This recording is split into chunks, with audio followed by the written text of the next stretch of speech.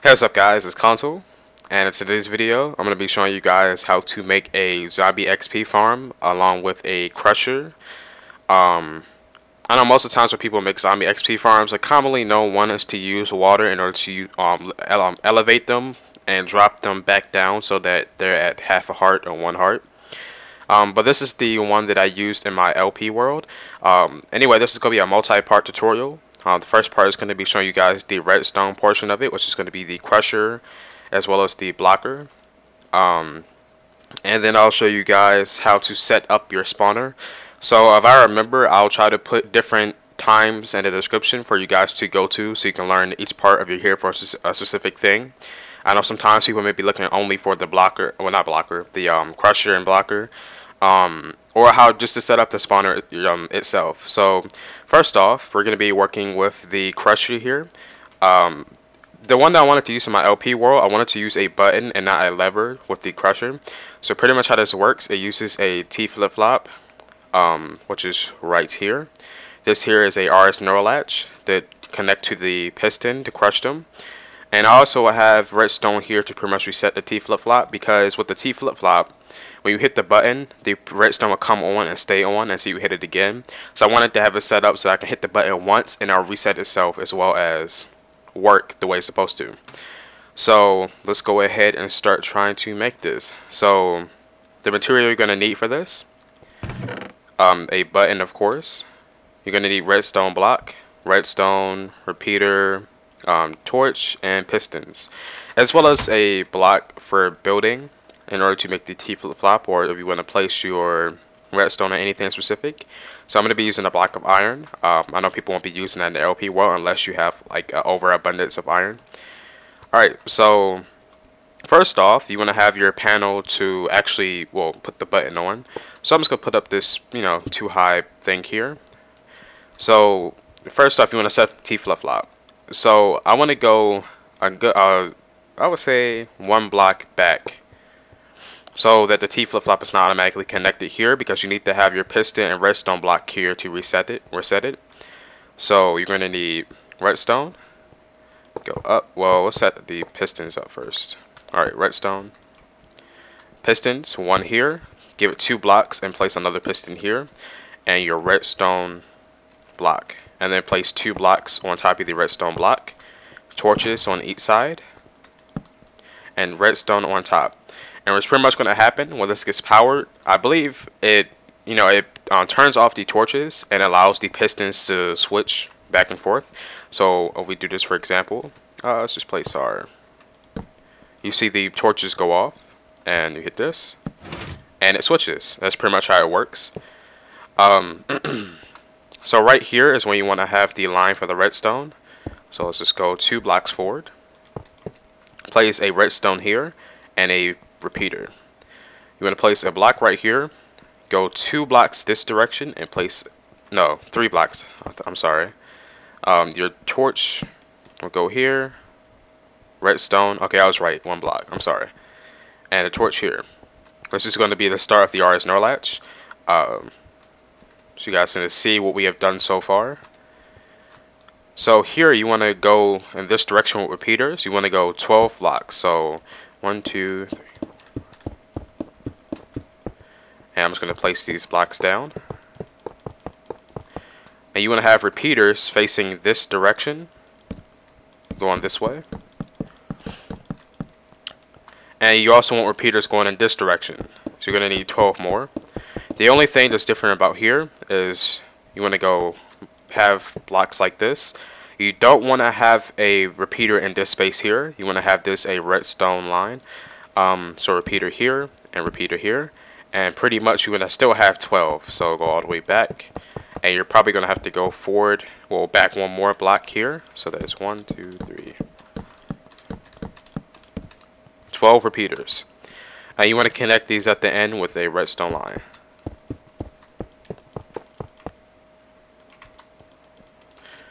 Alright, so this is what we have so far here.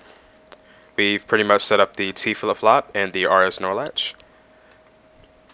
Um, next, go ahead and take all these repeaters and put them on, I believe it's four ticks. Yes. Everybody says, you know, some people will call it three ticks. I think more redstone people will call it four.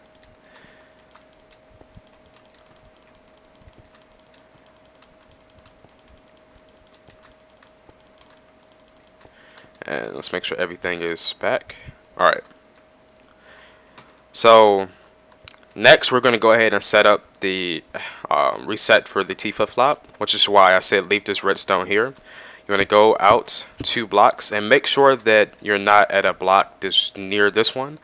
So you can either go out and around, well, go out and around like this. But to save space, I'll just go down like this. And you want to come up to where this is here.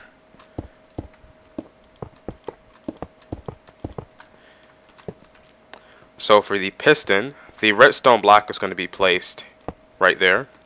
So the piston has to be a block back. No, that's wrong. Your piston wants to be connected to this, like this. So you can see that. And to power the piston, I'm going to have a block here with a redstone. So as you can see, it's pretty much working. And it will come back. The only problem is it powers it again. So in order to make it so that the redstone turns off, you have to hit it again. And it'll pretty much go all the way back around. As you can see. So in order to make that not happen like that, uh, you want to connect the redstone to the piston. Up here. And I just use the repeater here. So that now when you hit the button, T flip-flop comes on powers the RS NOR latch. It'll come all the way around. This redstone gets powered. Black gets pushed forward again. RS NOR latch goes around again, but the torch is not powered, so it's going to turn off and reset pretty much. And that's how I did that. Now, in order to power the crusher itself, uh, I'm going to show you the, just a simple way of doing this. And most likely it's going to be different in your LP world or whatever world you're going to be building this in.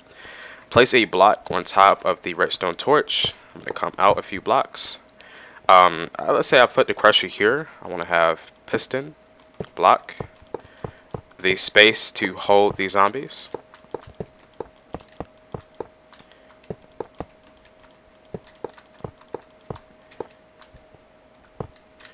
Alright, let's grab a spawning egg. Place the zombie in here. And let's connect the redstone. So right here, this is where the torch is right under that block. And connect that to the piston. And now when you hit this,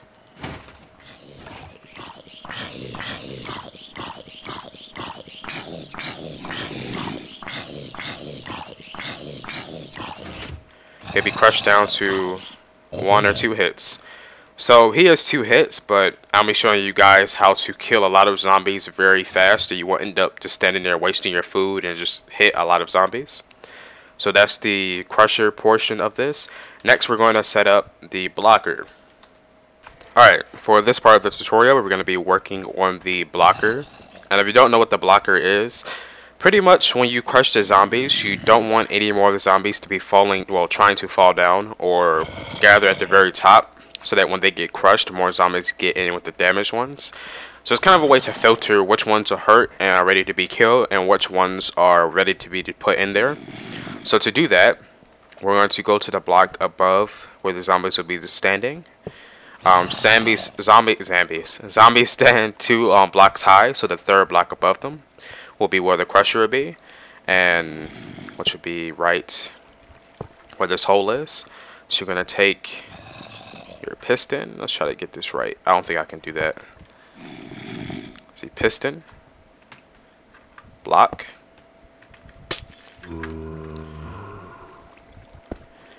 So that looks like it's just part of the wall. And to power this, it's going to pretty much, well, when it's powered, let's just do that. It'll come forward and stop more zombies from falling down. That's pretty much just how it works. So to power this, I'm going to be powering it with a T flip-flop and a button as well as just like this one. That's how I have it set up in the LP world. So we're pretty much just going to use another T flip-flop and you don't have to do anything as complicated as that. Just have it connected to the piston. So I'm going to do it over here. So, let me see. Set the same thing, button. Except this one, you don't have to have a reset for it. And let me turn off my Skype notifications. Alright, so button, redstone. Well, this is where the pistons are going to be. So piston, two blocks, piston, block of redstone, two blocks above that, redstone, redstone torch, redstone torch, I mean. Uh, do that, and with the button, pushes them back and forth. So I'll just connect this here. Um, let's just have it connected like so. So it'll be redstone, redstone. See, one, two, three. Like so. So that way, when we don't want any more zombies to come down, we'll hit the button.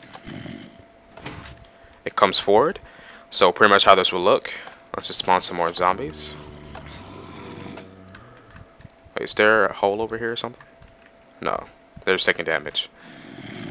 So you can see the zombies can't fall down, but since I'm playing in a snapshot, they're kind of glitching through the block. Um, and then when we hit the blocker again, opens and allows them to fall down. So that's pretty much the blocker. Um, and I'll show you the LP version I had so that you can kind of see how I set up it in more of a compact way. So that's pretty much the blocker and the crusher. Let's move on to how to actually set up the spawner.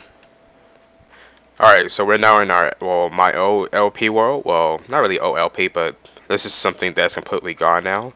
I just want to go ahead and show you guys how I have the redstone set up and more of an LP type environment. Um, let's go ahead and turn the crush or blocker off. So this is pretty much where I have these zombies collect. Um, as you can see, the water is right there where they get washed down and fall off the edge.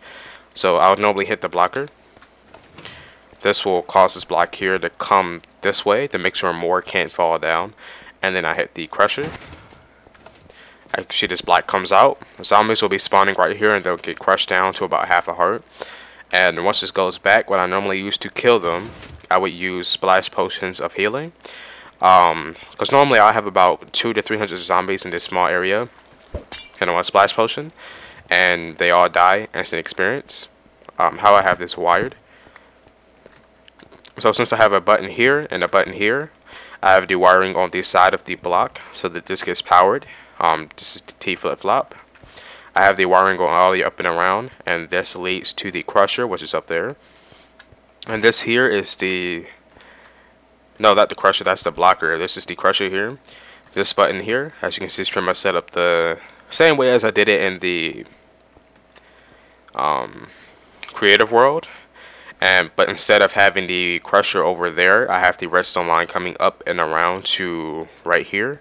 And when we break this, this is where we end up. So you can see that the piston is here. So yeah, I just want to go ahead and show you guys that right quick, just so you can get a few ideas about how you want to have it wired. Um, as you can see, I have mine towards the side of the room where the zombies collect there. This is on the side. And yeah, so now we're going to go ahead and move on to how to set up the spawner in order to get the, I guess I'll say best efficiency for them to get XP and have them spawn and so on. Alright, so we're back in our creative world, and now I'm going to go ahead and show you guys how to pretty much set up your spawner to get all the zombies into one point so you can crush them and kill them for XP farm. Um, this here is just an example. I could do this in the over, well, the actual overworld and show you guys how to do it, but I feel like doing it in um, a super flat will be a lot easier to really show you the setup. Uh, let's go ahead and switch time to day. Anyway, so this here is the cube. Um, you can see that the iron block represents the spawner. You have the water, the way the blocks are set up. I also have lanterns in the ceiling. That will be something I'll talk about later. Um, and the water pretty much goes onto over here where they'll be collecting. And yeah, so let's go ahead and show you guys how to do this. It's actually extremely simple. So first off, um, let's go a good amount of blocks away from there. Let's go up three. So let's say you find your spawner. Spawner is on the floor, and this here will represent the floor. So you find your zombie spawner. You have your little room here. So let's grab some torches.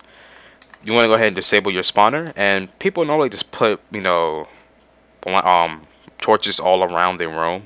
And the best way I've come up with just disable spawners is just to place torches like this on it. And it'll pretty much stop them from spawning for most things, except for things like silverfish. Um, so there you go. So you want to go ahead and clean out your room, and you want to have it so that, well, set it up so that you have four blocks in each direction from the spawner. So there's the spawner. So there's two, three, four, two, three, four, two, three, four, like that. And you're also going to have your floor in here, so just fill the rest of this in. So you have a giant square room.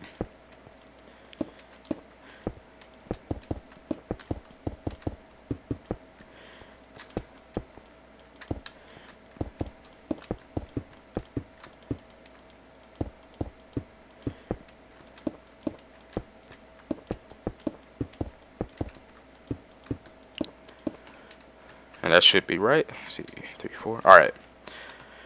So that's pretty much what you're going to end up with for the floor. So now you need to go ahead and set up your area to for things like water and so on and so on. Um, I think that's horrible grammar. Anyway, so something I'd like to do is to make sure there's two air blocks of airspace below the spawner and above it, so that let's go up two. Your ceiling will be up here there's two blocks from the spawner in the ceiling. You also want to go down two blocks so that, you know, one, two, so that, you know, two blocks in the floor will be right there. And still have it so you're going the four blocks in each direction from the spawner. But at the same time, you want to go down two more blocks. So, yeah, let me go ahead and do that. And this is what you should end up with here. So you, as you can see, four blocks in each direction from the well spawner. Um, two blocks down, two blocks up, and yeah. So if you're doing this, nine times out of ten, if you're doing this in your LP world, you all you got to do is mine out blocks, and I have to actually remove the blocks and put them back since I'm in creative. But um, yeah, this is pretty much how it turns out. Um, so one thing I would go ahead and do first is to place up your walls. Um, so you're pretty much just going to go around this extra block here, and this is where your wall will be. And it's not going to go up too high. It's going to be like a few, a full cube underground. So you kind of get the idea what I'm doing. Let's just go all the way back around.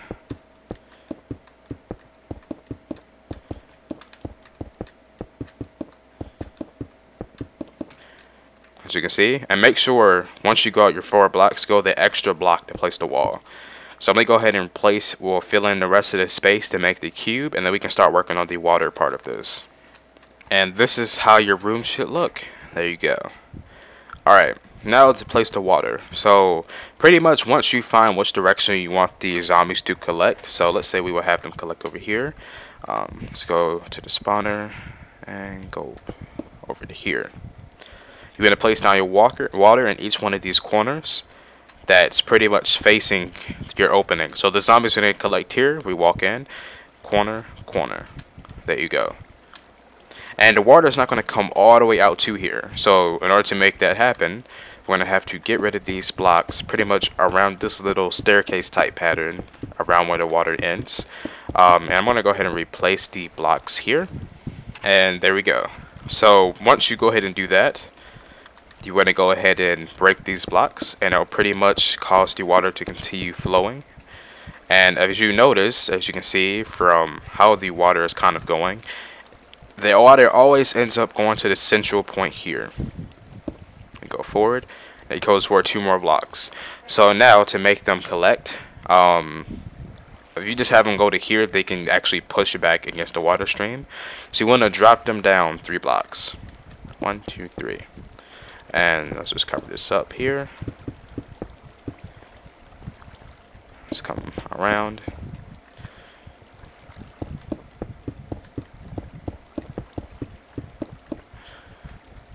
Alright.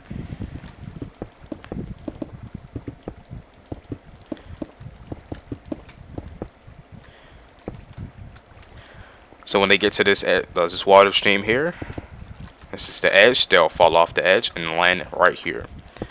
So this is the area in which they collect. Now you can do a few things with this area. I think most people normally do it like this, so that there's like a small space here where you can hit the zombies if you need to. Um, how I like to do this though, is I place a slab here, and make sure that this is too high. That way, um, there's only a half, like a one and a half block space for them to stand on, and they cannot actually walk through here. Only problem with setting this up like this is if a lot of zombies actually get into here, they can actually glitch right on out and walk through. And when I say a lot of zombies, I'm saying anywhere between two and three hundred plus, uh, which is normally how many I use when I'm in. Well, I used to use when I was enchanting things with the zombie spawner. Um, yeah, so this is how I normally have it set up. Plus, I also use a hopper with this, so I'll talk about that later. And that's pretty much how you do it. So let's go ahead and go into normal. Uh, let's go back inside. Make sure you remove the blocks from the spawner. Well, our little fake spawner here. Well, they, not blocks, torches, to make sure that the room is not light and they can spawn. And let's just throw a few zombies in here. And we'll show you guys what happens. There goes one, two, three, four, five, six. And these guys are kind of fighting each other. They'll eventually get through, as you can see. Let's go ahead and make it daytime again. Wait. And this is where they pretty much collect, as you can see. Um, and let's go ahead and switch to peaceful to get rid of these guys.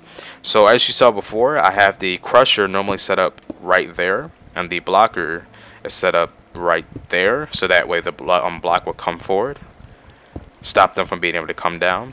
Crusher comes forward, crushes them to half a heart. And yeah, so that's pretty much how I have this set up. Um, a few things you can do what I would do is number one, add glowstone lanterns in the ceiling of the spawner. Um, I'm to show you guys how to do it more of a symmetrically type way, I guess. Just because I like to have my things evened out, I guess.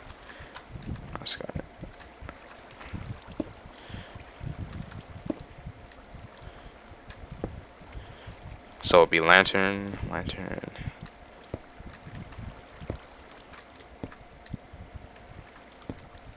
as well as lanterns along here.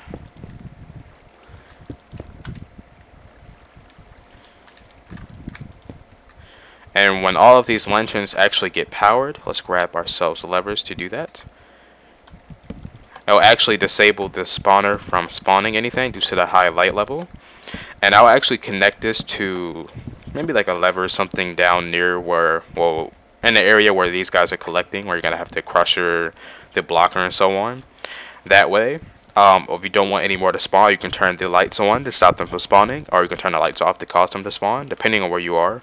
I know some people's computers aren't really as good as people like mine, um, so it can cause your world to lag having a lot of zombies just constantly spawning here. So yeah, that's something I would do. Um, something else I like to do is when you have two or three hundred zombies here, like I normally used to, um, when you have a half slab, you can actually place a hopper under it and when the items go into the half slab, they'll go into the hopper. So you can set up some kind of system with the hoppers in order to sort the like rotten flesh, potatoes, carrots, and any armor they actually drop. So that's something else I like to do. And how to kill these guys, I like to set up a enchant not enchanting station, um, a potion brewing station. And once you crush these guys to about half a heart, and you have a health potion Splash health potion. You want to take one of these, and let's say you have like two or three hundred zombies here, and then boop, and it'll pretty much kill all of them. Um, I believe they actually gain health if you hit them with a damage potion. I don't think it actually works, but the, with a health potion, it will hurt them. Um, you kill almost any all of them instantly. You don't have to just stand here and just constantly punch blocks in order to well punch them to kill them. So it's a lot faster. So yeah, it's pretty much going to be it for this tutorial. If you guys enjoyed, be sure to leave a thumbs up rating. Um, I'll also try to leave links in the description to like each part of the tutorial if you need to go back to certain things. If you have questions about this, leave that in the comments below. Um, I know people sometimes say like, hey, will you come join my server and make this? Just ask the questions in the comments below or you can tweet me, send me a private message. I'll try to respond as best as possible. Or if you can actually upload a video if you need help with, that, can show you what you can do. And yeah, if you're brand new, make sure you subscribe for more content. If you have any things you would like me to try do tutorials on to help you guys, leave that below. And that's pretty much it. I think I said that's pretty much it like four or five times. I have problems with saying that stuff. Anyway, later.